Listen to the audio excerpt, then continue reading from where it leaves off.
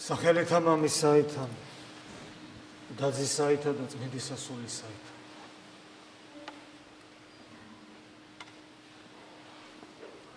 მე იმედი მაქვს რომ დღეს თითოეულ ჩვენთაგანს აქვს ისეთი განწყობა რომელიც წესით ყოველთვის უნდა გქონდეს მაგრამ არა გვაქვს ხოლმე.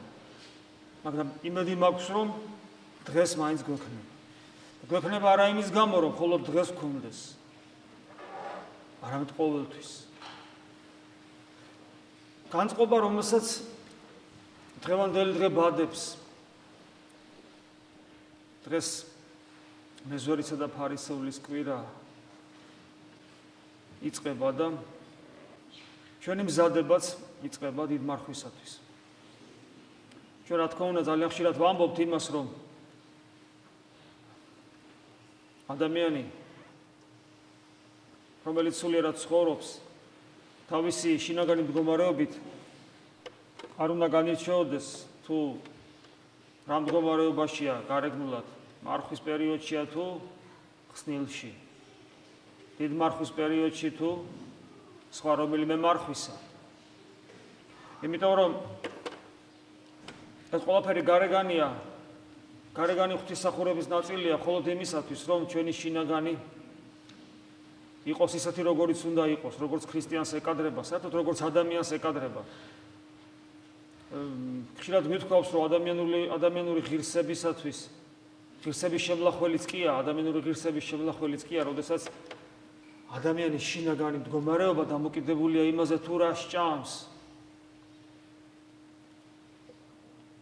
თუმცა დიდ მარხვაში მარტო საჭმლის მოკლება არ არის განსაკუთრებული მსახურებების აღესრულება, რომელიც ადამიანს განსაკუთრებულად მიდრექს სინანულისკენ. მაგრამ მიდრექს არა იმისათვის, რომ მე დაავიწყდეს, არამედ ყოველთვის უნდა გქონდეს ეს განწყობა სინანულისა. უფალმა ხო თავის ქადაგება ესე დაიწყო შეინანეთ რამე თუ მოახლოებულ არსო სასუფეველიცად ეს არის მისი პირველი სიტყვა მე ადრე გითხარით ეს არის ღვთის სიტყვა ის სიტყვა რომელიც შეწყდა და ვეღარ გაგრძელდა სამოთხეში როცა ადამიანს ეძებდა სადახარო ადამ და შემდეგ ადამიანად მოსულმა ღმერთმა ის დიალოგი რომელიც მონოლოგად იქცა სულიერი თვალსაზრისით სამოთხეში ის დიალოგი გააგზელა ჩვენთან. ჩვენ ეს არასოდეს არ უნდა დაგვავიწყდეს. პირველი სიტყვა, კიდევ ვიმეორებ. ადამიანად მოსული ღმერთისა. ადამიანურად თქმული. მე ვგულისხმობ, როცა ის მოღვაწეობას იწყებს. მოღვაწეობითი სიტყვა. ეს იყო შეინანეთ. შეინანეთ. რამეთუ მოახლოებულ არს უსასუფეველი ცათა. ჩვენთვის სასუფეველი ცისა, ცის სასუფეველი ანუ ღვთის სამეფო უკვე დამკვიდრებულია ეკლესიის სახით. რომელიც პირველი საფეხურია ზეცისკენ აღმავალი კიბისა. მაგრამ სახთო კანონები აქ უკვე მოქმედებაშია. მეფე უკვე აქ არის ქრისტე. და ჩვენი ცხოვრების წესით რა თქმა უნდა შესაბამისი უნდა იყოს. შეუძლებელია ეკლესიის წევრობა თუ არ იქნება სინანულის. შეინანეთ რამე თუ მოახლოებულ არ სასופეველიცათა. მოვიდა სასופეველიცათა. ჩვენ მისი მოქალაქენი ვართ. ჩვენ ზეცის მოქალაქენი ვართ, ანუ ეკლესიის მოქალაქენი ვართ. ეს არსობრივად ერთა იგივეა. ანუ ჯერ უნდა შეინანო და მე გახდე. მოქალაქე სასופეულისა. და ჩვენ თუ არ შევინანებთ, ვერ ვიქნებით. ხოლო სინანული, ეს არის მდგომარეობა, რომელიც მუდამ უნდა კონდეს ადამიანს. თუ ადამიანს სინანული არ აქვს, ის ნომინალურად რომ ციყოს ეკლესიის წევრი, ანუ ზეცის მოქალაქე, ის ვერ იქნება. სინამდვილეში არსობრივად სასופევლის მოქალაქე. ამიტომ სინანული სულ უნდა გქონდეს და არ უნდა იყოს დამოკიდებული იმაზე თუ დროის და საეკლესიო კალენდრის პერიოდში ვიმყოფებით. მაგრამ მეორე სხვა ჩვენ ვიცით რომ სამწუხაროდ სამწუხაროდ ჩვენი ღირსება არ გვინა შელახული კი იყოს, მაგრამ ძალიან ძალიან დიდი ხანი შელახულია და არ უფრთხილდებით და ამიტომ აი საკითხავები, ეს პერიოდები და განსაკუთრებულად დიდ მარხვისა, რომელიც აი დღეს იწება განსაკუთრებულ მდგომარეობაში გვამყოფებს. იმიტომ გითხარით ეს მდგომარეობა ჩვენ ყოველთვის უნდა გქონდეს, მაგრამ აი დღეს მაინც უნდა გქონდეს და ოღონ ხელი აღარ უნდა გაუშვა და ყოველთვის შევინარჩუნო. ეზორე და ფარისები. ხომ ყველა ვიცი. მე არ მეგულებ ახლა ადამიანი იდგეს, რომელმაც არ იცოდეს რა წერია იქ ამიგავში. მე ალბათ არც ესეთი ადამიანი არ მეგულება, რომელმაც არ იცოდეს თუ რას ნიშნავს. ეს იგავი ან განმარტება არ წაუგითხი, ან ჩვენი ქადაგებები არ მოусმენ. მაგრამ ამოვწურეთ. ადამიანები, როდესაც სამყაროს იკვლევენ, რომელიც, რა თქმა უნდა, ადამიანს არ შეუქმნია და ღვთისკნილება, ისინი იკვლევენ, ეძებენ. ჭრეტენ ზოგს თუ პირდაპირ ვერ ხედავენ და უამრავ სამყაროს მეგულისხმობ არა მარტო მატერიალურს, არამედ თვით სამყაროში მეგულისხმობ ამ სამყაროს ყველაზე მნიშვნელოვანი ნაწილს, რომელიც თავი ამ სამყაროსი კაცობრიობას. და უამრავ რამეს წერენ და აა მილიონობით წიგნი დაწერილა და მილიარდობითაც. მაგრამ მაგრამ რა თქმა უნდა, რა თქმა უნდა სამყარო ამით არ ამოიწურება, მაგრამ ეს პროცესი ახლაც გრძელდება. ღმერთი ჩვენგან განსხვავებით კი არ იკვლევს, არამედ ხედავს სამყაროს, იმიტომ რომ ისი ქმნილება. ამიტომ, ამიტომ და აგრეთვე იმიტომ, რომ ღმერთი ყოველად ბძენია. ღმერთისათვის არ იყო აუცილებლობა, არ არ არის აუცილებელი რომ ან ტომები წეროს, ამიტომ ძალიან მოკლე აი თქო იგავების სახით გადმოსცემს არს სამყაროსი და ჩვენი არსებობის. და ამიტომ ეს იგავები არის უსასრულო ჭასავით, რომელსაც ფსკერი არ აქვს. რომელსაც ვერასოდეს ვერ ამოწურა, ვერასოდეს ვერ გამოლე. და რაც უფრო სიღმეს ჩახვალ, უფრო საოცრებებს აღმოაჩენ, უფრო სუფთა წყალი ამო. ერთ-ერთი ესეთი იგავი არის იგავი მეზორისა და ფარისევლის შესახებ. რაღაც სულ რამდენიმე წინადადებაში მოცემულია ადამიანის ყველა ნებისმიერ ეპოქაში მცხოვრები ადამიანის, ნებისმიერი ეროვნების ადამიანის, ნებისმიერი აღსარებლობის ადამიანის ფსიქოლოგიური სახე, ანუ როგორია ადამიანი? რა პრობლემები აქვს ადამიანს, რა ჭირს ადამიანს? და თუ სწორედ მოიქცევა ისე როგორც უფალს მოეწონება ამიგავში, მე როგორ ناقობს იღებს. შემდეგ კვირაში ჩვენ უძღების შვილის კვირა გვექნება. როგორი ناقოფი გამოიღო სინანული. აქ ناقოფი არ ჩანს, აქ ჩანს უფლის სიტყვა, რომ იგი გამართლებული გამოვიდა მეზვერე. მეზვერე ცოდვილი, საშინლად ცოდვილი ადამიანი გამართლებული გამოვიდა. მაგრამ აი უძღების შვილის იგავში უკვე ناقოფი ჩანს. სამოსელი პირველი, ზვარაკი ჭამებული, ბეჭედი, ხამლნი და ასე შემდეგ.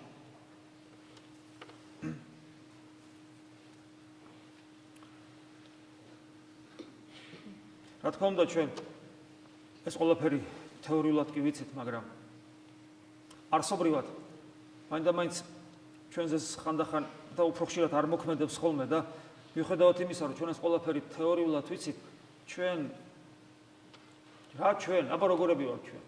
ჩვენ ნამდვილი ფარისევლები ვართ. ანუ ის ფარისევლის ის სახე, რომელიც წარმოდგენილია არა ჯულის აღსრულებელი. არა დანარჩენი სოფლიოსაგან გვერდზე განზე მდგომი ფარისევლობა ამას ნიშნავს. ყველასგან განზე მდგომი, ოღონ აქ ლაპარაკი იყო ეს სიტყვა არსობრივად უნდა მოიცავდეს ცოდვისაგან განდგომას და ფარისევლებმა საკუთარი თავი დააყენეს ადამიანისაგან. წარმოაჩინეს როგორც განდგომილი ადამიანისაგან, არა ცოდვისაგან, არა არა ცოდვისაგან, არამედ ცოდვილისაგან. ესმით, როცა შეიზიზღებ ცოდვას, მაგრამ ადამიანი გიყვარს და მისგან შორს არ წახვალ. მაგრამ მეორე, როდესაც შეიზიზღებ ცოდვილსაც და მისგან განდგები შორს, აი ფარისევლობის აი ეს გაგება. ჩვენთვის ხომ არის ახლობელი ეს მეორე. ჩვენ ხო ძალიან გვიჭირსო ცოდვა შევიძულოთ. ხოლო ადამიანი გვიყვარდეს. ჩვენ ხო ყოველთვის ესე ვაკეთებთ. რო ცოდვა გზულს და ადამიანსაც მივაყოლებთ ხოლმე ზე. ესია. ამიტომ ჩვენთვის ძალიან მნიშვნელოვანია. ეს იგავი, იმიტომ რომ მიუხედავად იმისა, რომ ყველაფერი ვიცით, რატომღაც მაინდა-მაინც მაინდა-მაინც აი ამ ფარისეულს გავარ ჩვენი შინაგანი მდგომარეობით. არადა ესე იგი ჩვენ შეიძლება არა განჟით, არა ლოგიკით, არამედ ჩვენი ცხოვრების წესით ვართ რევიზიას უტარებთ წმინდა წერილს, რევიზორები ვართ წმინდა წერილის. მაგრამ არ შეიძლება კრიტიკული მიდგომა წმინდა წერილისა, იმიტომ რომ მორწმუნე ადამიანი წესით ვერასოდეს ვერ უნდა ბედავდეს წმინდა წერილი გააკრიტიკოს. ათესტები ხო არა ვარ? უღმერთონი ხო არა ვარ? სხვა ჯულის აღსარებელი ხო არა? აღსარებლები ხო არა ვარ? მართლმადიდებელნი ვარ და ჩვენთვის ხო წმინდა წერილი ღვთის ხატია და ხატი რომელიც აბსოლუტურად აბსოლუტურ ჭეშმარიტებას ატარებს საკუთარ თავში. ქრისტიანობა ხო აი იმის აი ამ რწმენის garaშე უბრალოდ არ არსებობს. ამ რწმენას თავისი ლოგიკა აქვს. რა ლოგიკაა ეს? როგორ შეიძლებოდა ცოცხალ ღმერთს დაეტოვებინა ცოდვაში ჩავარდნილი ადამიანი ისე, რომ მას მისთვის ორიენტირები არ მიეცა. როგორ შეიძლებოდა თუ ღმერთი ისე მოინდომებდა ჩვენ ცხონებას, რომ ორიენტირებს არ მოგცემდა, ორიენტირი აუცილებელია თავისუფლებას ხوار წაგართმევს, მაშინ რაღა ადამიანი ხარ? თუ ესე იგი ორიენტირები არ იქნებოდა, შეიძლებოდა ხმამაღლა გეთქვა. ღმერთი არ არსებობს. იმიტომ რომ ის რომ არსებობდეს მაშინ ის ორიენტირებს მოგცემდა ანუ ჩვენი რწმენა ღვთისადმი თავისთავად გულისხმობს რომ ეს ორიენტირება ჩვენ ხელთ გვიპყრია წმინდა გარდამოცემის სახით რომლის ნაწილი ოღონ არა ის ნაწილი, რომელიც რაღაც ნაწილს ატარებს და სხვა დანარჩენი სხვაგან არის. წმინდა წერილი როგორც ნაწილი გარდამოცემისა, ანუ ისაც მოგოცა ღვთისაგან, ოღონ ნაწილი, რომელიც თლიანად ატარებს ყველაფერს საკუთარ თავში, როგორც ღვთისახურება. თქვა წირვა, ატარებს ყველაფერს თავის თავში.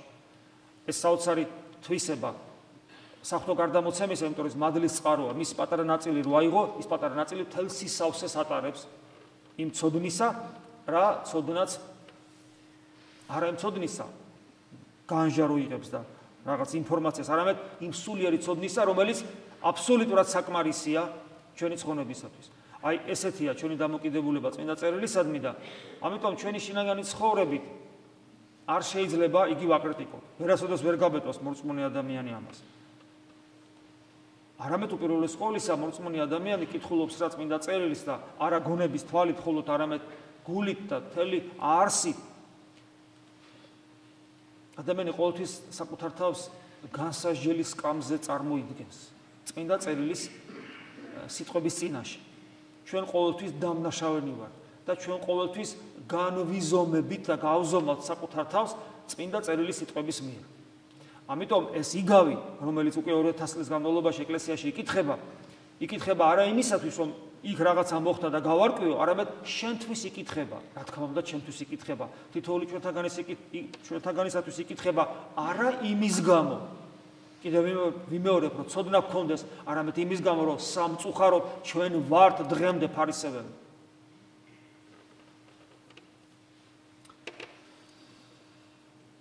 რათა ვართ ფარისევები? რა თავად. იმიტომ ვართ ფარისებელნი, რომ ჩვენ საკუთარ თავს ვერ ხედავ. მე როგორ ვერ ხედავ ამბო ადამიანი თქო საკუთარ თავს. მე ცოდვილი ვარ იტყვის ადამიანი. მართალი ხარ შენ კითხავ. არა მამაო მართალია. წმინდანი ხარ? ნუ გამონაკლისების გარდა არა ვარ წმინდანი ადამიანი იტყვის. იმიტომ ადამიანი თუ იტყვის რომ წმინდანი და მართალი ვარ მანიცის რომ ეს ისეთი მკრეხელობა ეკლესიის წიაღში. რომ უბრალოდ სირცხვილიც კი არა, რომ თავშიც კი მოგივიდეს, რომ აი ვიღაცას უთხრა მე მართალი კაცი ვარ და მე წმინდანი ვარ. ჩვენ ძალიან კარგად ვიცით რა ვთქვა და როგორ თქვა. ამიტომ ჩვენ არ ვამბობთ რომ ვართ მართალნი, არ ვარ არ ვამბობთ რომ ღვთის წინაშე წმინდანი და მართალნი ვართ. მეცაც ვიტყვი, ჩვენ გგონია რომ ამას რომ ვამბობთ რომ არა ვართ მართალნი და არა ვართ წმინდანი, ჩვენ ჩვენ ცოდვილები ვართ ამას რომ ამბობთ ჩვენ გგონია რომ ჩვენი შინაგანი მდგომარეობა აი ამ სიტყვებს შეესაბამება ერთი რომ ადამიანი შეგნებულად იტყვილება იცის რომ ეს სიტყვები ყალბია მაინც ამბობს იმიტომ რომ აწყობს ეკლესიის წიაღში ახლა არ გამოვა სხვანაირად იმიტომ რომ ეს ჩვენი ჩვენ ჩვენი რეალობა ისეთია რომ ადამიანი როგორც კი რაღაცას იტყვის ისეც უცნაურს იტყვიან რომ ან სულელია ან ესე იგი არ არის ქრისტიანი. მაგრამ არის შემთხვევები, როდესაც ადამიანი არ მზაკრობს და როცა ამბობს, რომ მე ცოდვილი ვარ, საბასაც სად არის ჩემი სიმართლე და სიმდაბლე და ნუ ამას რო ამბობს და სწორედ ამბობს გარეგულად ამას რო ამბობს განცდა აქვს რომ მართლაც ესია რომ იგი იგი არ არის დაბალი და იგი იგი არ არის მართალი და ეს შინაგანი მდგომარეობა აქვს. ეგება ვერ ვერ გამოვთქვი ის თქმა მინდა. ანუ ადამიანი სიტყვით აღიარებს თავის ცოდვილობას იმას რომ არ აქვს სათნოებები მათ შორის სიმდაბლე და სიმართლე სიტყვით აღიარებს და შინაგანი მდგომარეობა ესეთი აქვს რომ იგი ფიქრობს რასაც ამბობს სიმართლეს ამბობს და მართლას ალალად თავის ცოდვილობას წარმოაჩენს. მე მგონი კიდევ ვერ გამოვთქვი საქმე იმაშია რომ პრობლემა რთულია ადამიანი ესე რომ სლაპარაკობს ადამიანი ისეთი ადამიანის დაცემული ბუნება ისეთი მზაკვარია. რომ ხშირად გვითხოვს რომ ადამიანი საკუთარ ადამიანს შეუძლია მოატყუილოს საკუთარი სინდისი. ადამიანი შეიძლება მოატყუილოს საკუთარმა შინაგანმა მდგომარეობა. ადამიანი საერთოდ საკუთარ თავს არ იცნობს ეს ერთ-ერთი უმთავრესი პრობლემაა და როცა ადამიანი საკუთარ თავს არ იცნობს წმინდანობის ერთ-ერთი ნიშანი სხვათაშორის საკუთარ თავის ცნობელობაა და როცა შენ ნახე ამბობ რომ მე საკუთარ თავს ვიცნობ ვიცი რა ნაგავიცა ვარ ღმერთო შემიწყალე ცოდვილი ვარ ამ დროს შეიძლება მოტყუებული იყო ისევ საკუთარი თავისაგან. იმიტომ რომ აი ახაც ნახე როგორი უცნაური მზაკრობა, როდესაც შენ გაქ პრეტენზია რომ საკუთარ ცოდვილობას ბოლომდე ხედავ და ეს სიტყვები სრული ჭეშმარიტება რასაც ამბობ, ეს უკვე პრეტენზიაც კი აწმინდანობას, იმიტომ რომ ხოლო ძალიან დიდი წმინდანები ხედავდნენ საკუთარ უღირსობას და ცოდვილობას. და ხედავდნენ რომ მათში სიმართლის ნასახი არ არის. ამიტომაც არის ასკეტიკურ ლიტერატურაში პირველი საფეხური თაცა საერთოდ სულიერი ცხოვრება იწყება რა არის? გახსოვთ ეს არის საკუთარი თავისადმი აბსოლუტური უნდობლობა. რო არ ენდობი საკუთარ თავს. ოღონდ ეს ის უნდობლობა არ არის ყოფილი ცხოვრებაში რომ ლურს მიშაჭედებას ხდება არა მამა ვთიჩი გავირტყავ. ჩაარტყი კაცო ისა დააჭერდი ლურს მანე არა მამა თიჩი გავირტყავ და გააქნებს და მართლა თიჩი გაირტყავს იმიტომ რომ აი ამაშიც არენდობა საკუთარ თავს ჩვენში აღრეულია ხოლმე რას ნიშნავს საკუთარი თავისადმი უნდობლობა სულიერ სფეროში და რას ნიშნავს საკუთარი თავისადმი უნდობლობა ყოფილ სფეროში აქაც ამასაც სიბზნე ჭირდება გაიგო სად უნდა გამოიყენო? ეს საოცარი იარაღი საკუთარი უნდობლობის საკუთარი თავისადმი უნდობლობისა შენ საცხოვნებლა და სადამისია ამ იარაღის გამოყენება შენ ცხოვრება საერთოდ გაანადგურებს? არც ერთი სათნოება. ყველა ნებისმიერი სათნოება უგუნურად აღსრულებული ბოროტებად იქცევა როგორც ჩვენ წინა მომები გვასწავლია დაუბრუნდეთ ამ თემას. როდესაც ადამიანი აა ესე საუბრობს ღვთის წინაშე რომ არა ვარო მართალიო და ახლა ფიქრობს რომ მართალი არ არის სინამდვილეში მისი ცხოვრების წესი ყოფით ურთიერთობებში განსაკუთრებით ისეთი ხდება ხოლმე რომ იგი ყოველთვის მართლის პოზიციიდან საუბრობს. მიხდით ახლა რაზე საუბრობთ? ანუ თვალებზე ლიბრიკვა გადაკრული ჩვენ საუბარში, ახსარების დროს, სინანულში, მოძღვართან ურთიერთობაში, ლოცვის დროს ცოდვილი ვარ, რა სიმართლე, რა გავი ვარ, ასეთი ვარ, ადამიანი მოთქვავს ტირის საკუთარ ცოდებზე და ფიქრობს რომ ახლა მოთქვავს და ტირის და საკმარისია კონდეს მოყვასთან ურთიერთობა. ახლობელთან ურთიერთობა, სულიერ დაძმასთან ურთიერთობა. იქ ყოველთვის სხვანაირია შინაგანად იქ ყოველთვის მართალია იქ ყოველთვის საჯულია თავის მოყვასის იქ ყოველთვის ყველაფერი იცის და სხვებისას ხედავს და საკუთას ვერ ამჩნევს. ეს არის თითოული ჩვენთაგანის დაავადება.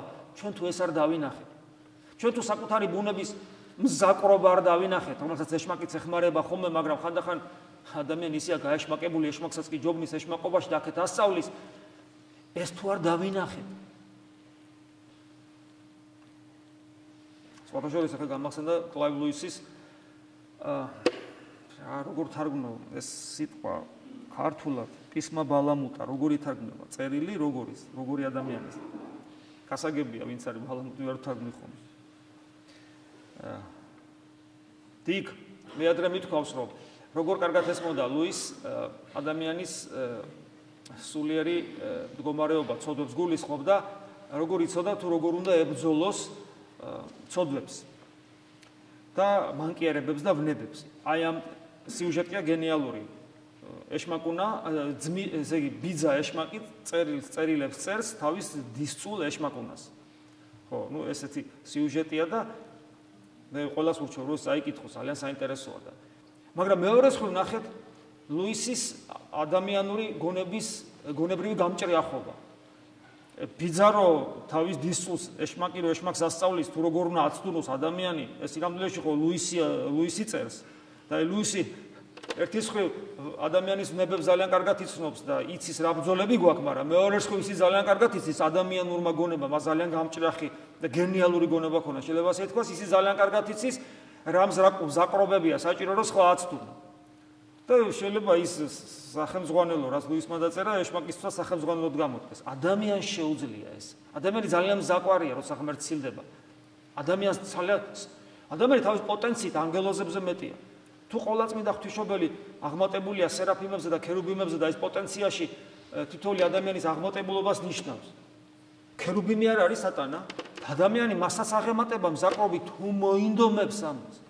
პოტენციაში ადამიანში ეს ძებს. ამიტომ ამ კუთხით თუ შევხედავ, დიახაც საკუთარი თავის ძალიან ძალიან უნდა გვეშინოდეს, იმიტომ რომ ეს ბუნება, რომელსაც შეუულია საკრობაში ეშმაკსაც აჯობებს, შენ გეკუთნის პიროვნულად და შეგი შეუძლია მას მოგატყუილოს. მოკლედ, ჩვენი თვალებიდან უნდა ლიბრი გადავარდეს და ვის შეუულია ეს? ვის შეუულია რომ ჩვენი თვალებიდან ეს ლიბრი წარხოცოს და მე მაგალითად ეხლა მე არ ვიცი რამდენად გადმოვეცი ის პრობლემა, რაც ადამიანში ამ კუთხით არსებობს, მაგრამ ჩემთვის პირადად მომიტევე თუ ვერ გამოვეცი ჩემი შინაგანი მდგომარეობა, რასაც მე უგძნობ ამასთან დაკავშირებით, მაგრამ თუ რომელიმე მათგანი გაიგებთ, მაშინ ჩემთან ერთად შეგეშინდება. ესე იგი აღმოჩნდები, მე აღმოჩენილი ვარ საკუთარი ბუნების ტყვეობაში. მორწმუნე, აღსარებელი, მაზიარებელი, თან მოღდელი, კვლავ საკუთარი დაცემული ბუნების ტყვეობაში ვარ და აქედან გამოსავალი შეიძლება ძალიან გამიჭირდეს და ძალიან საშიში იყოს ჩემი მდგომარეობა. აბა რატო ხდება, რომ რამდენი იერარქი ჩასულა ჯოჯოხეთში. რამდენი იერარქი არიცევა დღესაც სწორე. დაბაკითხე, ესეთი მართლები ვართ რო. როგორ? სხვების მოძღვრებიც არა ვართ რო. რატო ხდება ესე? რა, რომელიმე იერარქს უნდა რომ საკუთარი თავი დაიღუპოს და გამოუწეროს იქ საშუ ჯოჯოხეთში, რა თქმა უნდა, არ უნდა, მაგრამ აი ეს საკუთარი ბუნება, რომელიც სულ გვატყილებს საშიში მდგომარეობა, მე მაგალითად ერთადერთი გამოსავალი ჩემთვის ესეთია. უფალ შევევედრო, უფალო იესო ქრისტე, შემიწყალე მე. შემიწყალე მე რომ ეს ლიბრი თვალებიდან მომცირდეს და არავის არაფერ არავის დანახვა არ მინდა. საკუთარი თავი დამანახე. თუ ეს აკოს ხელს კი ცოცხლე რა კარგად ხედავ, არ მინდა. არ მაინტერესებს მაინტერესებს მე სულ გეუბნებით ხოლმე გახსოვთ თქვენ რომ იცით ხოლმე რომ იმან მაწყეინა იმან ესე მითხრა იმან ესე შემოხედა ბიჭო რისთვის ქცალიად გეუბნებით შენ თუ ასეთი რაღაცებისათვის ქცალია, მე მეეჭება რომ შენ გეცალოს სულისხმობისათვის. რა დროს ეგ არის? 2000 წელი მოიცოცხლა ამ ქვეყანაზე. ქრისტეს დროს დაბადებული იყო და დღემდე ცოცხალი იყო, ჯერ კიდევ ვერ გექნებოდა, ვერ გექნებოდა საკუთარი თავი განხილული, გამოკვლეული, შესწავლილი. რაზე მელაპარაკები? ისთვის ქცალი? აღარ ლაპარაკობ იმაზე, რომ საკუთარ თავს რო შეისწავლი, თითქოს უკვე ცხონებული ხარ. არა ეს არ არის საკმარისი ერთი 2000 წელი ხომ და საკუთარ თავს ცოტათი დაინახო და ეგ არ არის საკმარისი მე ღმერთისაკენ და ისრაფო და ღმერთთან ურთიერთობა ისწავლო აი ეს არის საჭირო ცხონებისათვის. მამა გადაგვიწურე ემეთი და ეგ არის და ვიღუპე რა დავიღუპეთ და მართლაც არაფერი არ გვეშველება და ესეც იქნებოდა რომ არ იყოს ღმერთი რომელსაც ისე უყვარვარ რომ ჩვენთვის მოკვდა და გვითხრა რასაც ითხოვთო ჩემი სახელით მე იმას გავაკეთებო და ვედრებით უფალო იესო ქრისტე შემიწყალე მოკლე ლოცვა. გულიდან ამოსული. გულიდან უნდა იყოს ამოსული. გულის გულში ჩადის. აი ამ ლოცვაში იესო ქრისტეს სახელში, რომელიც თუ მექანიკურად გაისროლი არაფერია, არაფერი რო იყოს კიდევ ვინჩივის, საშნელი მკრეხელობა და ცოდვა, ცოდვა, სასიკვდილე ცოდვა ღვთის სახელის ამაოთ მოხსენება. მაგრამ თუ ადამიანი მიზან მიმართულად ამბობს ამ სიტყვებს, ამ სიტყვების ესა ფორმა ხო გარეგული, ნივთიერი ფორმა ბგერაში, ნაწილში სიტყვაში გამოჩენილი. არსი აი ამ ფორმისა იესო ქრისტე. შიდა არსი, შიგა ნაწილი. არის ცოცხალი ღმერთის ღვთაებრივი ენერგია, თავად ღმერთი. ამიტომ ლოცვის სიტყვები ზოგადად და აი ამ ლოცვის სიტყვები მიზანე მიმართული ღვთისკენ, როცა იცი რომ რისთვის და ვისთვის და რატო და როგორ უნდა თქვა, როცა ეს ყველაფერი იცი, აი ფორმა ბგერების რომელიც თავისთავად არაფერს არ წარმოადგენს. არაფერს. თვითონ ტაძარის კი არაფერს არ წარმოადგენს თუ სახთომადლი არ იქნება იქ. აი სიტყვებიც არაფერს არ წარმოადგენს მაგრამ ოდესაც მას მიზან მიმართულად და საჭიროებისა გამოიყენე ეს სიტყვები ეს ფორმა მატერიალური ფორმა იესო ქრისტე ღვთის ენერგიით ივსება და ეს ენერგია შენთან იმყოფება ამ დროს. და ღმერთთან კავშირი გაქვს ამ დროს. ცოცხალი ღმერთის ხელია ეს ენერგია თავად ცოცხალი ღმერთია თავისი ენერგია თავის ენერგიებში და ღმერთს ესმის ამ დროს შენ. და ღმერთი გისურვებს მაშინ ამ სიტყვას. რომ ეონები უფალო იესო ქრისტე შემიწყალე მე. ზოგჯერ არიცი მაგრამ ქოცხლებიერად გზნობ? და ხშირად უნდა იცოდე რას ითხოვ და მათ შორის უნდა ითხოვდე ამასაც ეს ლებრი თვალებიდან ჩვენი დაცემული ბულებიდან გამომდინარე გადაესალოს ჩვენს თვალებს და დავინახო საკუთარი თავი და ბოლოს და ბოლოს ჩემი სულიერი ცხოვრება ეგების დაიწყოს. გახსოვთ პატერიკში ერთი თავის მოძრაოს ეუნება ახალგაზრდაბერი გავიგე მამო იქ თებში ერთი ბერია ანგელოზებს ხედავ. რა მაგარი რამეა წარმოედგინე. ჩვენი პირუტყული თვალი რომ ესე იგი ხო არ გვაძლევს საშუალებას მიღმერი სამყარო დავიხვა დავინახო და ეს მართლაც რაღაც საოცარი სულიერი ხედვა რო გეძლება და მიღმიერ სამყაროს რო ხედავ. ეს ხო ერთ-ერთი ნიშანი შეიძლება იყოს წმინდანობისა არა ეუნება ეტარი არა ის ვინც ანგელოზებს ხედავს არამედ ვინც საკუთარ თავს ხედავს. ეკლესიამ შემოგვინახა ეს ბრძენი მოძღვის ნათქვამი იმიტომ რომ ანგელოზების დანახვა ადვილია რამდენს უნახავს ზოგ სიზმარში ზოგ ცხადში ვირს შეუულია დაინახოს. გახსოვთ ეს? ბალაამის ისტორია ძველახთმაში. ეს წინასწარმეტყველი წარმართი რო ვირზეზის და მიდის რომ დაწყალოს ისრაელი რო ვირი არ მიდის. და ვირი არ მიდის, იმიტომ რომ ცხოველ ანგელოს ხედავს מחვილით ხელში და ვირ შეეშინდა, ცხოველს რომ დაანახო რაღაც ესეთი გასაგები რომ შეეშინდება. და არა მარტო შეეშინდება, ღვთის განგებით ადამიანურათაც ამეტყველება, რას მერჩი რატომ ცემო, ვერ წავალ ვირი. ვირსაც შეოლია დანა დანახვა მიღმერი სამყაროსი თუ ამას უფალინებებს. აი მაგრამ საკუთარი თავის დანახვა ვირს ნამდვილად არ შეუულია ვირია და იმიტომ. აი ადამიანი იმიტომ არის ადამიანი და არა ცხოველი რომ მას პირველ რიგში ეს უნდა შეძლოს და აი ამით იწება ჩვენი სულიერი ცხოვრება. მოდი ასე ვთქვა რადგან სული უპირატესია ხორცზე ამით იწება ანუ საკუთარი თავის დანახვით იწება ჩვენი ადამიანური ცხოვრება ხოლო საკუთარი ცოდვების დაუნახაობა, საკუთარი თავის დაუნახაობა. ისეთ რისი ნიშანია, რომ ჩვენ ჯერ არ გვიხილავს ადამიანის ის ხატი, ის ხატი, რომლის მიხედვითაც ჩაიფიქრა და შექმნა ღმერთმა კაცი საერთოდ. ღმერთ ღმერთი საფრთხო ჩანაფიქრში. ღმერთის ღმერთის საფრთხო ჩანაფიქრია რომ შექმნას კაცი ხატა და მსგავსად თავის ქმნის აი ჩანაფიქრის მიხედვით. მე ადამიანი არ ამართლებს ამას თუმცა ეს ხატობა როგორც მარგალიტი მასში რჩება. და ჩვენ რო ცოდებს ვერ ხედავთ ამის ბრალია ჩვენ ჯერ კიდევ არ ვიცით ღმერთი როცა ადამიანს ქმნის. ადამიანის სახით და ადამიანში თითოეული ჩვენთაგანი შექმნა როცა ღმერთი ადამიანს ქმნის, რატო ქმნის? მიზანი რა არის? ჩვენ ჯერ ეს გაცნობიერებული არ აყვა. ჩვენ საკუთარი თავი გონია, აი რას ვართ? აი ეს ვართ. ეს პირველ რიგში საჩოს ხომ. ჩვენს ამბიციებში.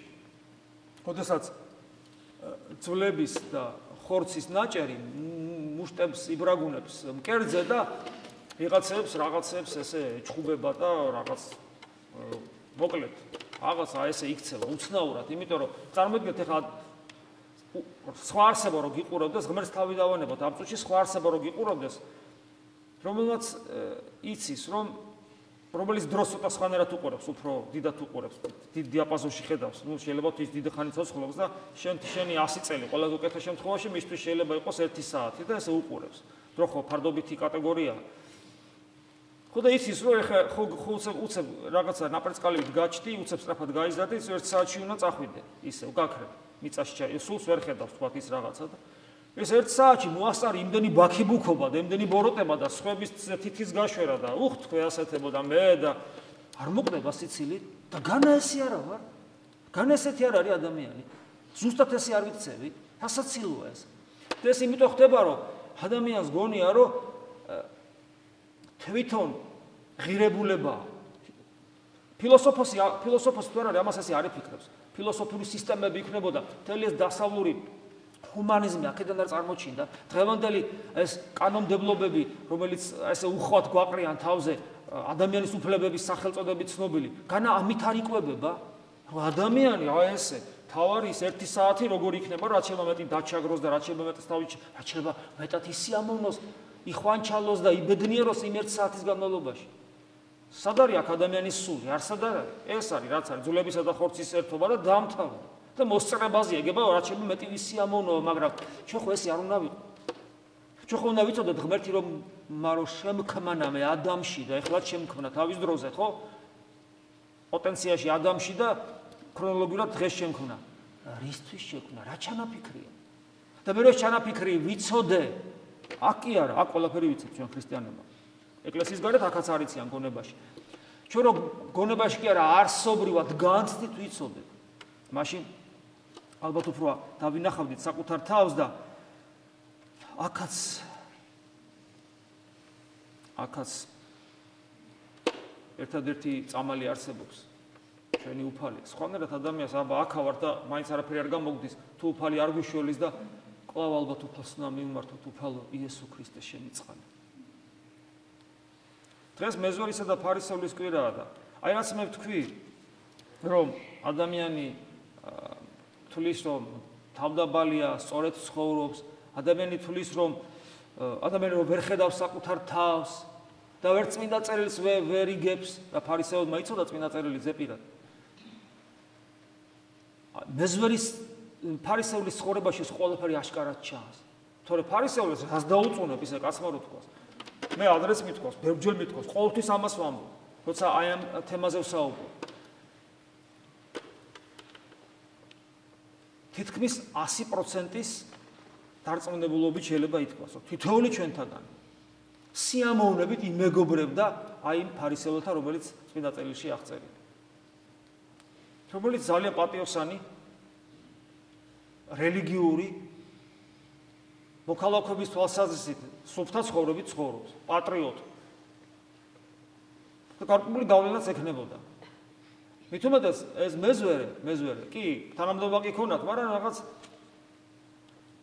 კანცელარის თანამშრომელივით იყო ისეთი, რომელიც უცხო სახელმწიფოს ემორჩილება. კი, ძალაუფლება კი აქვს, მაგრამ ჩვენ ღირსებიდან გამომდინარე, როგორ ვიკადრებდით, რომ მასთვის თავი გაგვაყადრებდნენ და ჩვენ შულებს ესე გავზდით, რომ ეგეთი ეგეთი მოღალატე და ნაძერალ არ უნდა იყო. აი, მისაბაძი მაგალითად. და ყოველთვის აბა ჩაუკვირდით იქ ტექსტს, როგორ ცხოვრობს ეს ფარისეველი. და რომ ძულს ეს მეზვერე რა სამართლიანად ძულს და ჩვენ ხო ესეთები ვართ ჩვენ ხო ესე ვიცით ქრისტიანებმაც ქართველებმაც ესე შორს და ესენი ესენი ესენი ვინ არიან რა წარმო ჩვენ ზუსტად ეგეთები ვართ და სიამოვნებით ვიმეგობრებით მასთან. წაიკითხეთ ჩაუღმავდით. თქვენთვის წერია, ჩემთვის წერია, იქ რა წერია და ეგეთები ვარ ჩვენ ზუსტად, ზუსტად ესე ვცხოვრობ, ზუსტად ესეთი მსოფლმხედველობა გვაქვს, ზუსტად ესე განვიცდი. ზუსტად ზუსტად ესე ვხედავ, ქრისტეს თვალებით კი არ უყურებ სამყაროს, აი იმ ფარისევლის თვალებით უყურებ სამყაროს, ჩვენიანია, ჩვენი სისხლი და ხორცია ეს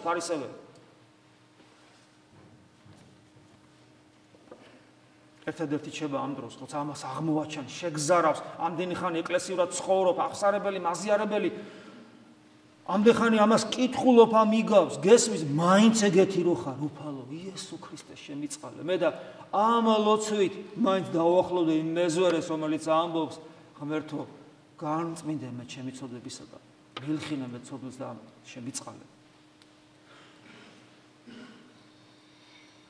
თუ არა და თუ ვერ დავინახავთ, ახლა თქვა ადამიანმა თქვა, რომ მე ვერ დავინახე ჩემი საკუთარი ცოდვები ახლა, ისე ისე როგორც ახლა დიდი წმინდანები ხედავდა. გონია რომ ნუ დიდი წმინდანია და მე ახლა არა ვიჭირ. რომ ცხონდე, უნდა იყო წმინდანი. წმინდანობა ჩვენ არასწორად გვესმის. ჩვენ წმინდანები ზე ადამიანები გგონია, რომელსაც არანაირი ცოდები, მანკიერებები და ესე იგი ვნებები არ აწუხებდა და არ ქონდა. და ნაკლი არ ქონდა. ჩვენერი ადამიანები იყვნენ. წმინდანობა იმას ზეკაცის თეორიას კი არ ქნის ეკლესია რომ აი წმინდანები და არა. წმინდანი არის ადამიანი, რომელიც აი ესე ცხოვრობს, როგორც საუბრობ. რამე გასაკუთრებული რაღაც კი არ ჭირს. საკუთარ ცოდებს ხედავს. ცოდები რო არ ქონდეს. წმინდანიც არ იქნება, იმიტომ რომ მაშინ ადამიანიც არ იქნება. არ არის კაცი, რომელიც ხონდეს და არას ცოდოს. ლოცვის სიტყვები. მაგრამ ამიტომ ჩვენ არ შეგვიძლია ვთქვათ, რომ ჩვენ წმინდანობა არ გვინდა. ის ხონდება, ვინც პირველი მიდის, პავლე მოციქული გოხო გახსოვთ როგორ ამბობს. იმიტომ კი არ მივიბივა, მივურბივა, რომ ხელებს ჰაერს ჰაერს ცემდე, რო ვიქნებ. არამედ პირველი მივიდეო, პირველი ცხონდება, მეორე ვერასოდეს ვერ ცხონდება, იმიტომ რომ ცხონება ნიშნავს ადამიანს, ცხონებული ადამიანი, რომელსაც ღმერთი უნდა. და ამისათვის ყველაფერს აკეთებს. და რა გამოსდის, ამას მნიშვნელობა არ აქვს. თავარია აი ამ სურვილში ბოლომდე დაიხარჯოს. ომის დროს გმირებად იმას კი არ რაცხავენ, ვინც ყველაზე მაგარი მეომარია და ვისაც შეუძლიათ 1000 კაცი მოკლას, რემბოა და ესეთი, არა. ომში გმირად ირაცხავენ იმას, ვინც კვდება სიყვარულისათვის, მეგობრისათვის და სამშობლოსათვის, რომელიც შეიძლება ყველაზე სუსტი შეიძლება ყოფილიყო თავის თანამებრძოლებს შორის. ამის მაგალითები ისტორიაში ძალიან ძალიან ბევრია. უცებ გამახსენდა სუვოროვის მაგალითი. სუვოროვს არც ერთი ომი არ წაუგია. არც ერთი ომი არ წაუგია. საოცრად რელიგიური იყო, ჯარს ამარხულებდა და მეორე ბრძოლას იწყებდა. შეიძლება სამი დღე ემარხულად და მეორე საოცარ გამარჯვებებს აღწევდა. გენერალ სენუსი იყო, ხო თუ არ ვთქვი? და უაღრესად ღრმა და მორწმუნე ადამიანი იყო. იქაც მონახა ბოროტ, მაგრამ დღეს პავლე მოციქულის სიტყვები ხო აღმოვიკითხე, ვინც არ არის ქრისტიანი, თუ ხარ ქრისტიანი, უნდა იდევნო ეს ნორმა ამ სოფლის, ამ სოფლის ქრისტეს ძულს. ისიც დევნეს ბოლოს. ჩამოაქვეითეს და პენსიაზე გაუშვეს. ეს უძლებელი გენერალი. მე რა გონიათ, რა გააკეთა? დაიბოღმა, გადატრიალება მოახდინა, გამწარდა. ერთ-ერთ ტაძარში იყო მეფსალმუნე და ისა წიგნის კითხულად დადგა ერთ-ერთ ტაძარში და ექვს სალმუნების კითხვა უყარდა ხოლმე და ესე ღვთის წინაშე ესე ლოცვით აღესრულა. წარმოიდგინე. ჩვენი გიორგი მაზნიაშვილი ეს უძლეველი გენერალი, ასე რომელსაც არც ერთი ბუძოლა, ყველა დამარცხებულ ომს იგებდა. როცა დაჭი უჭირდა დაუძახებდნენ, მოაგებინებდნენ, მერე ისე ხელს კრავდნენ, ან დაიჭერდნენ. მე ადრეს გითხარით მისი ნაწერები საოცარი სიმდაბლის ეტალონია მისი მემუარები. ვერსად ვერ წაიკითხე გეგონება ვიღაცა ისწერს რაღაცა. არ ვი ადიუტანტი წერს, რომელიც შორდან უყურებდა ამ სიტუაციას. არსად მისი საკუთარი მე არ ჩანს. არ ჩანს მე არსად. არადეს იყო უძლეველი გენერალი. წავიდა და დახვიტეს მე. ისე ქართველები. საკუთარი სოდვების დაუნახაობა და ეს წმინდანები კიდე რომლებიც არიან. ხა წმინდანად შერაცხილი არც ერთი გენერალი არ არის მე მის მესმის მაგრამ რა ვიცი მე მე რო უყურებ მაცხოვრებას იგივე ჩვენი გიორგი მაზნიაშვილის ჯერ მაგდენი უნდა გააკეთო ან სამშობლოსათვის ან ესეთი სიმდაბლე უნდა ქონდეს და მე შეიძლება განსაჯო კიდე რაღაც. ანუ მე მის თქმა მინდა რომ უფლისათვის როგორი სათნოა ესეთი ყოველი ესეთი ადამიანი და მისი მათი ცხოვრება ესეთი ადამიანის ცხოვრება ჩვენთვის ნიშანია იმისა რომ აი ესეთები რო არიან ესეთები რო რო ართლიან საკუთარ თავს რაიმედ. არამედ არაფერსაც ართლიან. უბრალოდ თავის აკეთებელს სწორად აკეთებენ შვიდა და სიმდაბლით ღმერთი იმიტომაც აძლევს. ჩვენთვის დასანახავად ჩვენთვის რომ ნიშანი იყოს იმ საოცარ უნარს ამ სამყაროში ვითაც ისინი აჩენენ საკუთარ თავს. ხოლო თუ ცოდოს მოკლედ ვერ დავინახავ და სიმდაბლე არ გვექნება ის კი არ გვემუქრება რომ აი წმინდანები აღარ ვიქნებით. წმინდანი წმინდანობის garaში ვერავინ ცხონდება და წმინდანობა კიდევ ვიმეორებს ეკაცობას და აბსოლუტურ ზნეობებს ისუს სისუფთავეს სულაც არ ნიშნავს, სხვა რამეს ნიშნავს. უბრალოდ პრობლემა ის გვექნება, რომ ვერ დაინახავ რა საკუთარ ცოდვილ მდგომარეობას, მაშინ სხვა გზა არჩება შენს ბუნებას და იგი საკუთარ სათნოებებს დაინახავს. და სხვების მსაჯული გახდები. და ამით ამით აღმოჩნდებით შორს ღმერთისაგან. აი ეს დაემართა ფარისეველს. საკუთარ ცოდვებს ვერ ხედავდა. რადგან ვერ ხედავდა საკუთარ ცოდვებს, მას ეგონა რომ ეს არ ქონდა. დაინახა საკუთარი სათნოებები. არა მამაო, ჩვენ ესე არ არ ვამბობთ, რომ ჩვენ საკუთარ ცოდვებს ჩვენ ხედავთ საკუთარ ცოდვებს. მაგრამ საკუთარ სათნოებებსაც რო ხედავთ, რა ვქნა მამაო, ღმერთმა მომცა ეს სათნოებების და ხელი მკრა? თუ ღმერთმა მოგცა, შე როგორღა ამაყოფამით. არა მამაო, მე არ ვამაყოფ. რატო ქთული რო გამორჩიო? არა მამაო, გამორჩეული არა ვარ. აბა თუ არ ამაყოფ და გამორჩეული არა ხარ, მაშინ რატო ხდები სხვის მსაჯული? საკუთარი ცხოვრება ჩვენ გვამხელს. ჩვენ რო სხვის მსაჯულები ვხდებით, ეს ნიშნავს იმას, რომ ის სათნოებები, რომელსაც ჩვენ ხედავთ და კარგია რომ ვერ ხედავდეთ, მაგრამ თუ მაინც ხედავთ, ხედავთ არა როგორც ღვთისაგან მოცემულ, სადაც მე მონაწილეობა არ მიმიღია არაფერი, აა ეს მომეცა და ამის ღირსიც არა ვარ, არამედ ხედავ როგორც ჩემს დამსახურებას და ეს მაძლევს უფლებას, რომ ვიყოს ხვის სიმსაჯული. თორე როგორ უნდა ვიყოს ხვის სიმსაჯული? მე ხო შენ არაფერთ არ გჯობი ვარ. შენზე უარესი რო ვარ. ეს ხო უნდა ვიცოდე. ის რაც მაგ, ჩემი სულაც არა. მომეცა ღვთისაგან ისიც, იმიტომ რომ შენ გემსახურო ამისათვის და არა იმისათვის რომ განგიკითხო. სხვისი საჯულობა ეს ამას ნიშნავს. რა თქმა უნდა, მე მაცნობიერებს სულად ეხლა რასაც ეხლა ლაპარაკობ, რომ ეს თითოეულ ჩვენთაგანისათვის არის სერიოზული პრობლემა. მე სხვისი მსაჯული ვარ, თითოეული თქვენთაგან, ვისაც თქვენ გიცნობ, ჩვენ არ შეგვეძლია სხვისი მსაჯული არ ვიყოთ, ჩვენ არ შეგვიძლია არ განვიკითხოთ, ჩვენ არ შეგვიძლია რომ საკუთარი ეს სათნოები, რომელიც ღმერთმა მოგვცა საკუთრად არ შევრაცხოთ, არ შეგვიძლია ეს. ამით არათუ ეს ჩვენი გვაქვს, ამით ჩვენ ვბედნიერო. მაგრამ თეორიულად მაინც ხო უნდა გავიაზროთ, რომ ეს ცუდია. და ვეცადოთ გავთავისუფლდეთ ამისაგან და რომ ვერ გავთავისუფლდებით. მერე უფალს შევგაღადო. უფალო, იესო ქრისტე, შემიწყალე. და ამით ყლავ მეზორეს დავემსგავსო. გესმით? ფარისეველი ჩვენი სარკია. და მეზვერე გამოსავალი ამ სიტუაციიდან. ყველაფერში შორცორცა დავინახავ საკუთარ ფარისევლებს, ჩავხედავ, დავინახავ საკუთარ თავს და მე რო დავიწყებ ბრძოლას ამ ფარისევლობის წინააღმდეგ, დავინახავ რომ ვერ ვერევი.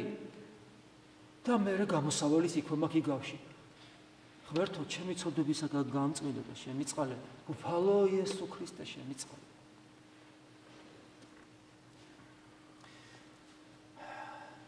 ეხლა ფარისეველი მოდი ესე თქვა. ჯული მიცემული აქვს? აქვს. კანონი აქვს. ასრულებს? ასრულებს. აბა რაღა გვინდა? ღერთვა მისა ეს კანონი და ასრულებს და თუ ამ კანონის შესრულებით ის ისეთ არსებად გადაიქცა, რომელიც მის სულს ღუპავს, პრობლემა რაში მდგომარეობს ნეტა? არ თქვათ რომ იძველი აღთქმა, ჩვენს გვაქვს ჩვენი ჯული. ესე და ესე უნდა მოიქცეო, ჩვენ ხო გვიწერია? და ესე და ასე და ასე არ უნდა მოიქცეო. ჩვენ ხო წაგვიკითხავს ჩვენ ჩვენი ჯული გვაქვს. თუმცა პავლე მოციქული გვათავისუფლებს ჯულისაგან მაგრამ და სწორია. თავისუფალი ვარ ჯულისაგან მაგრამ მაშინ მოდი პავლე მოციქულისავით იცხოვრე. მოკვდი ქრისტესათვის. და მაშინ შენ ჯული აღარ დაგჭირდება და რადგან ჩვენ ქრისტესათვის სიკვდილი მაინდა-მაინც არ ფსიამოვნებს ეს ეს გვინა და ისეთ ამიტომ ჯული გვაქვს როგორც აღვერი ამოდებული. და ამით გვინდა არ გვინდა. ძველი აღთქმის მდგომარეობიდან არა ვარ გამოსული. მაგრამ ეს ჯული კარგია ცუდი კი არ არის რაც არის ეს მადლის მიერია ყველაფერი წესები რაც არის ასე და ასე მოიქეცე და ისე სხვანაირად არო ეს მადლის მიერია. რომელმაც უნდა ჩვენში ის თავისუფლება აღზარდოს რასაც პავლე მოციქული გვეუბნება. აი ჯული არის. ჩვენთან ჯულია იქაც ძველ აღთქმაში. ორიენტირი ფარისევლებს აქვს ორიენტირად ჯული. მაგრამ უბედურება ეცეთ რაშია? რომ ამ ამ ორიენტირს იყენებს არა საკუთარი მდგომარეობის დასანახავად ფარისეველი. არამედ სხვების განსჯაში. ის ორიენტირი. აი მე ჯული მაქვს, ჯულს აღვასრულებ და მე შენ განგჟი ამ ორიენტირის მიხედვით.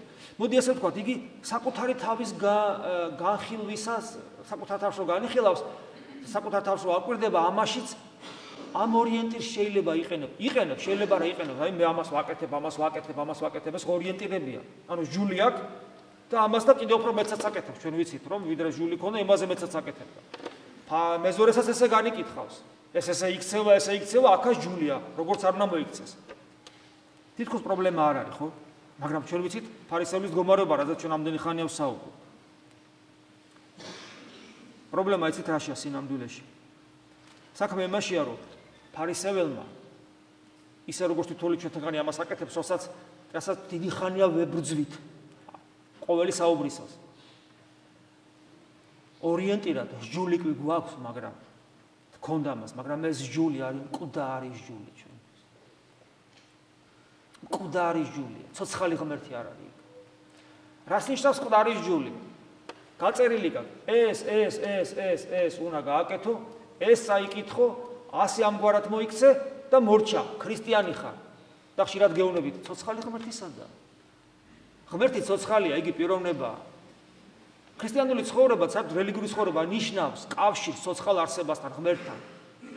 პიროვნული ურთიერთობები, ორი პიროვნების ურთიერთობა, არაფერი გაწერილი არ შეიძლება იყოს. აი ცოცხლის ურთიერთობა, წარმოგიდგენთ გაწერილი, ამ საათზე ეს, ამ საათზე ეს, ამ საათზე. ამ საათზე შვილი უნდა გავაჩინოთ, ამ საათზე უნდა ჭამოთ, ამ საათზე უნდა დავილაპარაკოთ, ამ საათზე კატასტროფას მივიღებთ. კატასტროფას. რატო? იმიტომ რომ პიროვნება ზე სამყაროული, ზე დროული, ზე სივცული კატეგორია. ის არ დაიყვანება, როგორც კი პიროვნებას დაიყვანა ხის სქემებზე, ყდება იქ პიროვნება, დამთავრებულია ყველაფერი. მაგრამ ღმერთთან რო ვახერხებთ ამას? პედანტიზმი ავადმყოფობათ ითვლება, ფსიქოლოგიურ დაავადებათ ითვლება. და პედანტიზმი ღმერთთან ათარ არის დაავადება. ამ დაავადებას ფარისევლობა ქვია. პედანტიზმი ავადმყოფურად რო წესრიგის მოყარე ხარ. ეს ავადმყოფობათ იქცე. ყდარი კანონი. და როგორც კი ამ კანონის აღსრულებას იწყებს ადამიანი ყდარი კანონის. ანუ ხისტი.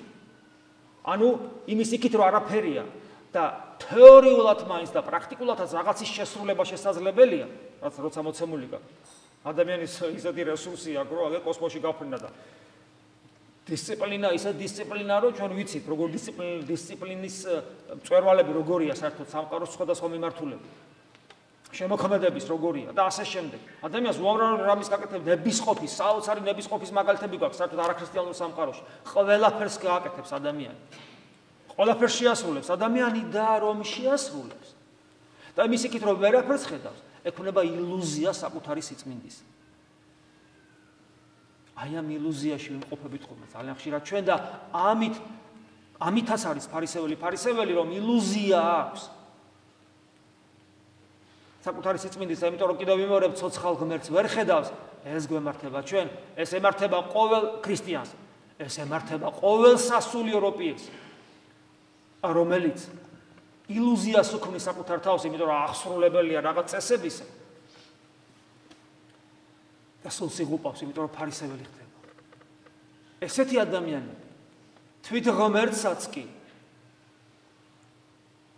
აი ამ კანონების თყვედა მონათ აქცევენ. ღმერთსაც კი ართმევენ თავისუფლებას და უწესებენ როგორ და რანერად უნდა განსაჯოს თითოეული ადამიანის ხვედრი. და ეს საშინელ სიმახინჯებს ბადებს. მე ამ საკითხებს რო ვეხები ხოლმე ძალიან შეძწუნებული ვარ, იმიტომ რომ მე ვიცი საშნელი მაგალითები აი ამგვარი დამოკიდებულებისა და ერთადერთი ვინც ამ მდგომარეობიდან გვიხსნის კვლავ მეზორის მდგომარეობა. მეზორე მეზორეს რა პრეტენზია შეიძლებოდა ქონოდა? რა სიწმინდე, რა კანონის აღსრულება, რა ღმერთის ჩარჩოებში მოქცევა, რა ილუზია საკუთარ თავი გაჭირვებოდა, იმიტომ რომ საკუთარ თავს ხედავდა. და თხოვდა უფალს, რომ განეწმინდა ცოდვებისაგან. და ჩვენს გომხურულად უნდა ვეძრებოდა ცოცხალ ღმერთ ჩვენთვის მომკვდარს რომ აი ამ მდგომარეობა არ გქონდეს უფალო იესო ქრისტე შეგვიწყალენ ჩვენ. ო აი კანონთან დაკავშირებით კიდე ის უნდა ითქვას თავისთავად ცხადია რომ უფ როგორ როგორი დამოკიდებულება გვაქვს ჩვენ ლოცვისადმი ლოცვასთან დაკავშირებით როგორ როგორ ვერ ვერ წხდებით აი ამ მდგომარეობას რომ ღვთისმსახურება კანონის მსახურებად გადავაქციო. ღვთისმსახურება ქვია და არა კანონის მსახურება და ეს როგორ იგზნობა ხშირად ჩვენს ყოველდღიურ ურთიერთობაში ღმერთთან და როგორ იგზნობა ფათაშორის ეს ურთიერთობაშიც იგზნობა. მე ვიცი რომ უნდა უთხრა შემინდე, შემინდე და გულის უსხარამეს ამბობ. მე ვიცი რომ უნდა უთხრა ღმერთმა შეგინდოს, მაგრამ გულის სხვა რამეს ამბობს. მე ვიცი რომ უნდა აბერტი განსხვავდებით იმ ღმერთობისაგან, იღიმებიან მარტო და ეს ღიმლის მიღმა არაფერი არ არის. არაფერი არ არის. კანონს ვასრულებ. ურთიერთობაში კანონის სახურება, ღმერთთან ურთიერთობაშიც კანონის მსახურება და არა ღვთის სახურება, რაც ყველაზე საშინელება ღოდოლისათვის.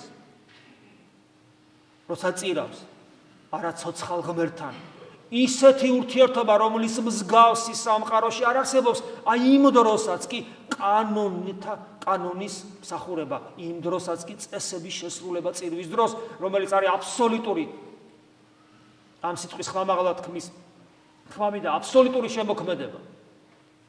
არამედ ფორმაში, არამედ ამდენად შიგნით, ანუ აბსოლუტურად დაულევნელი, დაუმთავრებელი შემოქმედება. არის წირვა მღვდლისათვის. მე ვაიმე, როდესაც არა ვარ შემოქმედი, როცა ვწირა. ვაიმე, როდესაც მე ვწირავ ხისტის სქემებით. ვაიმე, როდესაც მხოლოდ გარეგანს ხედავ და გარეგაში ხედავ ღმერთთან ურთიერთობის შესაძლებლობას და ჩემი სული მკვდარია და არ არის თანამონაწილე. ამიტომაც ხდება ხოლმე, რომ წირვა წირვას აღარ აგავს და ძალიან ხშირად წირვა ერთი დიდი შეურაცხყოფაა ხოლმე ღმერთისა და ერთი დიდად ჩადენილი მრავლობიჩი მრავალი ადამიანის მიერ ჩადენილი სასიკვდილე ცოდვა როდესაც უფალი გვაფრთხილებს არა მოიღო სახელი უფლისა ამაოსა ზედა და ეს ცოდვა მორუშობის პარვის კაცისკulis თოლფას და ღვთის გმობის თოლფასი ცოდვა ათწნებაშია შესული ლოცვა არ ფასდება გარეგნული კრიტერიუმებით სიყვარული ფასდება კილოგრამებით? არა. აბა რა თაფასდება ლოცვა დროითა და ან კიდე რაოდენობით? რა თაფასდება? რატო ვაფასებ ლოცვას დროით ან წარმოთქმული სიტყვების რაოდენობით? როცა მაგალითად სიყვარული, როგორც გითხარით, კილოგრამებით არ არ აიწონება და მეტრობით არ გაიზომება. სულ ვამბობთ, ლოცვა ეს არის მარადისობასთან კავშირი, ამიტომ იგი დროისა და სივრცისა და ყოველგვარი მატერიალური მიღმიერი კატეგორია რატო ვაფასებთ დღემდე მას ესე უცნაურად მიწიერი საზომი სიყვარულის მაგალითი იმიტომ მოვიყვანოთ ყველა ხმებს როგორ შეიძლება სიყვარული გაზომოა დაწონ. ასევე არ შეიძლება. თელი დღე ილოცე კანონები დაუჯდომლები ფსალმუნებია ყოველ დღე წირე. და გონია რომ მა მორჩა? არაფერს არ მორჩა. არანაირი გარანტია არ არსებობს ასევე სულიერი ცხოვრების ხარისხი იმის დამიხედვით თუ რამდენი ხანი დაიარებ ეკლესიაში. რამდენი ხანი? როგორი სტაჟი გაქვს უკაცრავად ჭყალებში ჩვენ ესაც უზომავთ ხოლმე მე და ავაზაკს ეთი როგორი ის ქონდა ჭყალებში სტაჟი. ქრისტიანული ცხოვრებისა მაინტერესებს და პირველი კი შევიდა სასუფეველში. რა ხდება? სულიერ კატეგორიებს ვეხებით ძმებოდა დებოდა სხვანაირად ფიქრი და აზროვნება გვმართებს. ღრმა ღრმა აზროვნება გვმართებს და არა ზედაპირული. ქრისტიანობა ვერ იტანს ზედაპირულ აზროვნებას ზედაპირულ ცნობიერებას ზედაპირულ ზედაპირულ ფასადურს ვითაც ესე მოწამლულია დღევანდელი სამყარო და მათ შორის საქართველოს ქრისტიანობა ყოველივე ამას ვერ ვერ იტანს ვერ გუობს.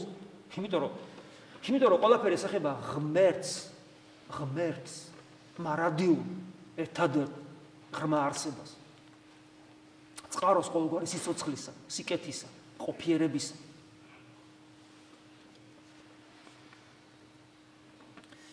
ერთადერთი კლავ მეზორის მდგომარეობას და მიუბრუნდეთ ამ დროსაც, როდესაც ჩვენ გვიჭირს ლოცვა და როცა ხვდებით რომ ლოცვის შემფასებელი ჩვენ კი არა ვართ, ლოცვის შემფასებელი მხოლოდ ის არის ვისკენაც მიმართულია ეს ლოცვა.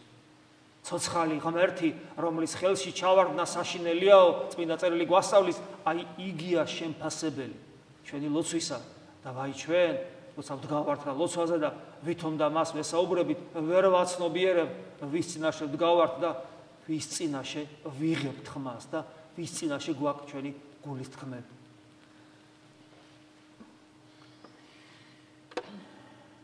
ფარისეველს მეზორე ნამდვილად არ უყვარს.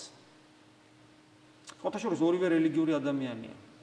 მეზორე თავისთავად ფარისეველი თავისთავად ცხადია და მეზორე რადგან ტაძარშია მისული ის რელიგიური ადამიანია.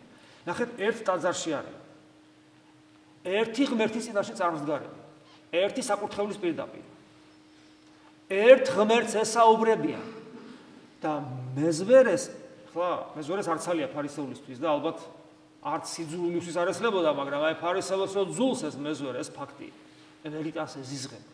სამართლიანად თუ ადამიანური სამართლით გავამჟით, მაგრამ ჩვენ ხო ადამიანურ სამართალზე დიდი ხანი არ ვსაუბრობთ ასაკუთავად.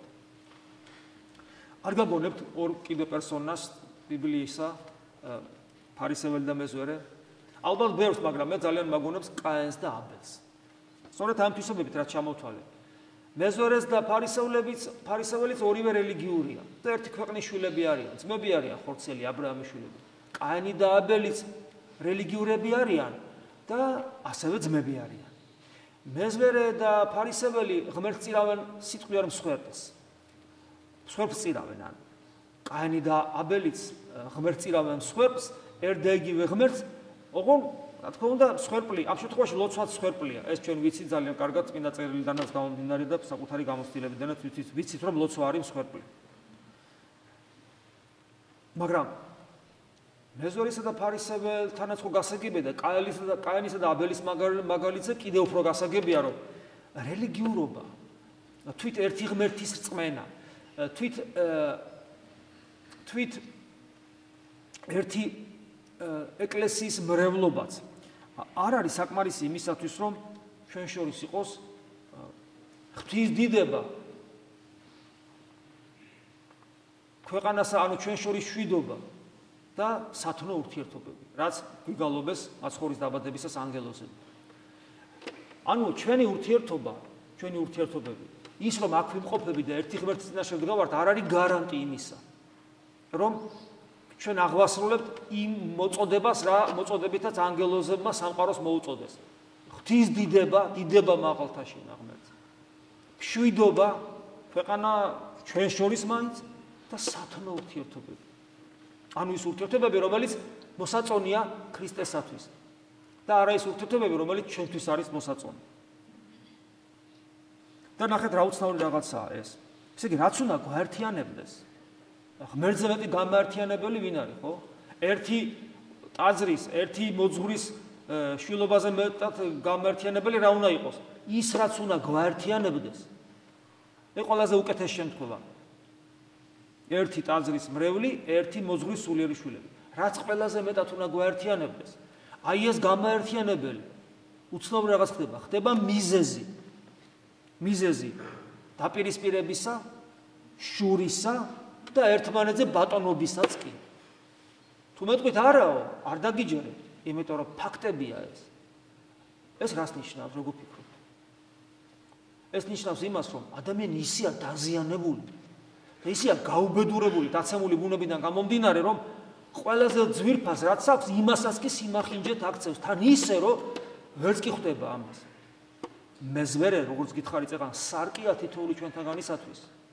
ამიტომ მეზვერი არა ფარისეველი. მეზვერი უნდა იყოს ფარისეველი სარკია თითოეული ჩვენთაგანისათვის ჩავიხედოთ ფარისეველში როგორც სარკეში და ვაი მე და მრავალ თვეთაგანს რომ საკუთარ თავს ამოვიკითხავ და დავინახავ. აი ამ საკითხშიც კი რომელიც ახლა მე გითხარ არ ვიცი გამოსავალი არსებობს. აქ იმიტომ ვარ მით უმეტეს ერთ ტაძარში მით უმეტეს შესაძლებლობა უფრო დიდია ხო რომ სიკეთე იყოს ერთ მოძღვართან აქ იმიტომ ვართ რომ ეს უბედურება არ კონდეს და აი აქ მოსულა ხდება ხშირად მიზეზი ჩვენი უბედურების. თუმცა არა მიზეზი არა მიზეზი არამედ აი ეს ძვირფ აი ამ ძვირფასი რამ რაც არის ჩვენ ჩვენ გამერთიანებელი რაც უნდა იყოს მისი დამახინჯება. ადამიანს ყველაფერს გაგჭება შეუძლია. და გამოსავალი რომ კითხო, ესე იგი ლოცა ესე იგი მართმადებელი ხარ, ერთ მოძღვართან ახარ, ლოცულობ, წირავ, ეს ყველაფერი ჩამოთვალე, ხო? და ნახეთ, რომ სათნოებები, ეს ყველაფერი შეიძლება თავდაყირა დავაყენოთ და აბა სხვა წამალი აღარ არსებობს სამკურნალო. ისევ მეზვერემ შველის. გავიხედავ მეზვერესკენ და აჰა. ესე იგი, აი რომ აქვს ხოლმე რაღაც პრეტენზიები და აი რა და მე რა ვქნა და არაფერი არ გამოდის და რა ვქნა შევხედა? არის თავჩაქინდრული. მერთო მიხინე მოცოდულს და ამას და შემიწყა. გაამწმინდე მოცოდების. უფალო იესო ქრისტე შემიწყალე გამოსავალი. სხვა გამოსავალი არ არსებობს თუ არა დაიმადაბლო თავი. მიხედე უფალს საკუთარ თავს და შეწყალება ითხოვე, აი გამოსავალი. ოღონ ეს არ გვინდა ხოლმე. ჩვენ სულ რაღაც ეს ამბიციები გვინდა და ეს არ გვინდა და ეგ არის გამოსავალი. მაგრამ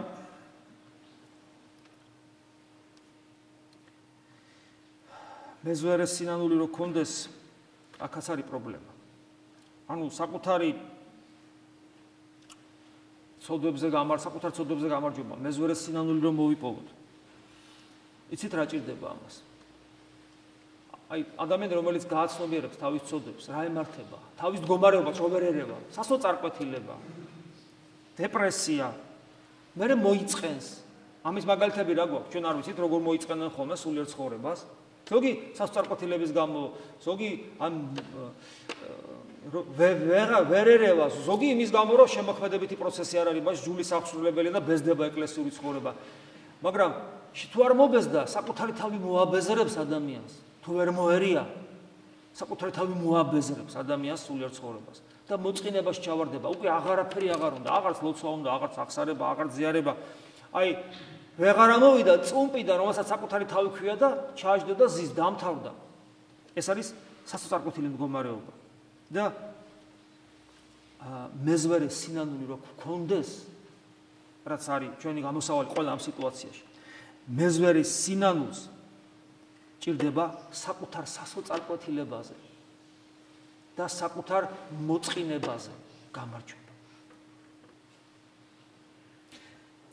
წმინდა نيكოლოს სერბელი, ესეთი წმინდანია, იცით? მას მოყავს სიტყვები, რომელსაც ის იმ კაცის სხვა ანუ სხვა ადამიანის სიტყვები, ეს ადამიანი ასაკოვანი იყო, რმად მოხუცებული, გარდაცვალებისას მან ესეთ სიტყვები თქვა იმ ადამიანმა და ეს მოგვიტანა წმინდა نيكოლოსმა სერბელმა.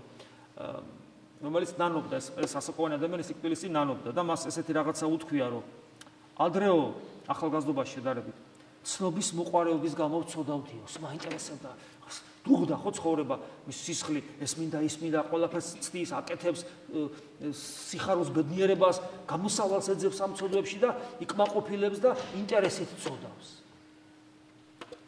ხოლო მერეო, მე უკვე როცა ასაკში შევიდა, ისე ვწოდავდი, ოღონ საკუთარი თავის სიძულიდან გამომდინარე.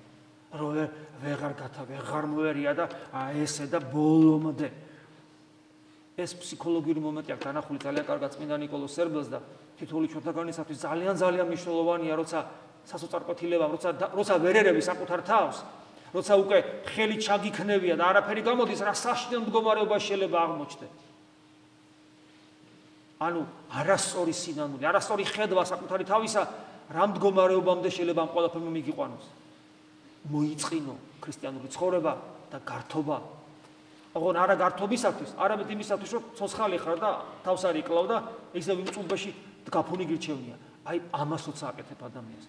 გამოსავალი ადამიანი იტყვის, არ ვიცი. ერთადერთი, ყოლა, ყოლა მეზურეს ჩავხედოთ. და მასთან ერთად თქვა, ოღონ აი მიმართულებით, რომ უფალმა აი ამ მდგომარეობიდანაც რომ არ მოგვეწყინოს ქრისტიანობა.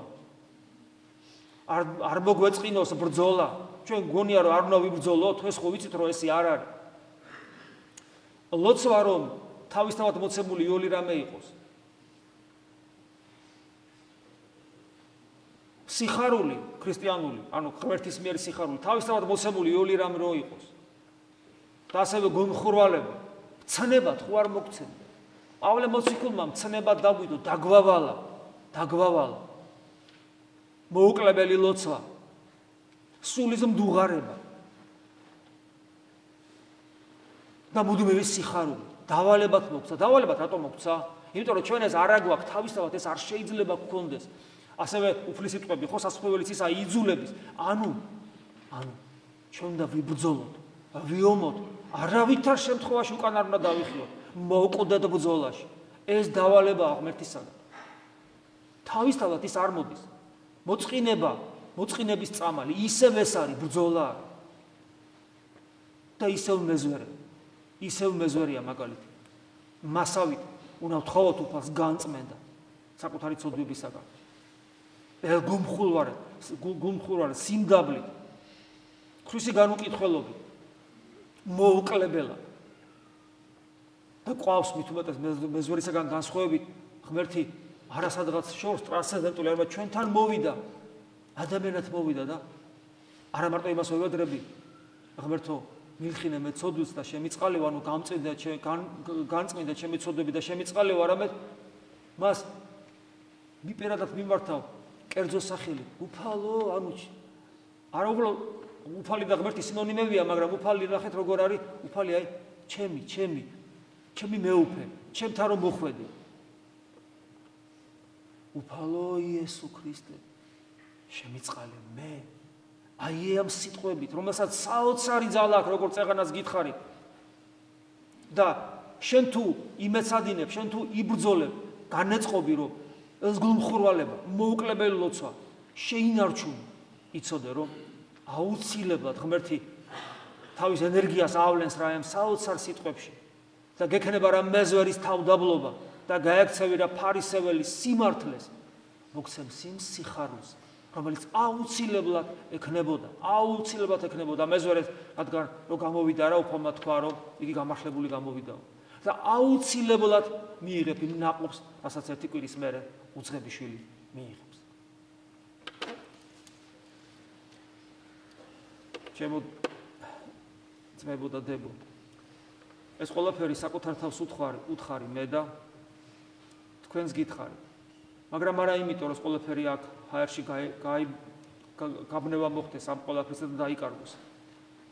არამედ იმისათვის რომ მართლა ძადება მარხვისათვის და აქამდე რაც ვივარგეთ კი ვიცი და ეგება დღევანდელი დღიდან ვივარგოთ რომ აღდგომას რომელიც მალე იქნება მარხვის დასასრულს სხვა მდგომარეობით შევხვდეთ. ეს სხვა მდგომარეობა რა მდგომარეობა იქნება? როცა ჩვენ სულში იქნება ყდრეთით აღდგარი მაცხოვრის სიხარული. რომელსაც ვერაფერი, ვერანერი გახსნილება და ხორცის ჭამა და ღვიდის დალევა ვერ წარხოც. იმიტომ რომ ნებისმიერი ამქვეყნიური სიხარული, რომელიც რომელსაც ღმერთი გვაძლევს დიდება უფალს, აი აქ არის, სადღაც აი აქ და ის სიხარული, რომელსაც ღმერთი გვაძლევს, ისე რომ ამასაც არ წაგვართმევს, ისე მაღლა, რომელსაც დღეს ვერ წვდები.